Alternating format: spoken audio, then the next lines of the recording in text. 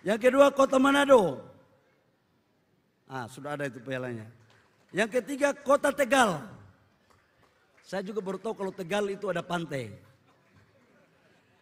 Yang kedua kabupaten terbaik wilayah timur, Kepulauan Yapen yang diwakili oleh pejabat bupati.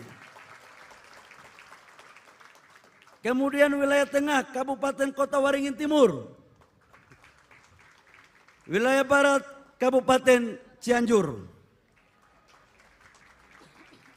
Bapak Presiden kami juga laporkan bahwa Papua ini dibagi menjadi tiga bagian. Ada pegunungan, ada lembah, ada pesisir. Kalau pesisir ini, kalau di biak ini namanya jabek. Jawa campuran biak. Kalau di Maroke itu jamer. Jawa Irian. Kalau di Serui itu ada Prancis. Peranakan Cina Serui. Jadi memang di wilayah Papua ini sangat heterogen. Jadi tidaklah benar kalau disampaikan bahwa Papua bukan kota atau daerah toleran. Kami di Papua adalah tanah yang damai.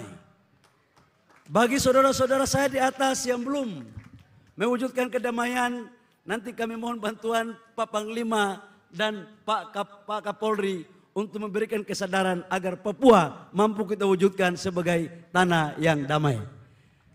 Merah putih berkibar dari ujung airport sampai dengan ujung tempat yang kita sebentar akan lalui. Semoga Tuhan memberkati Indonesia dan semoga Tuhan memberkati Papua dalam konteks NKRI. Demikian terima kasih. Kurang lebihnya mohon maaf. Wabillahi taufiq wal hidayah.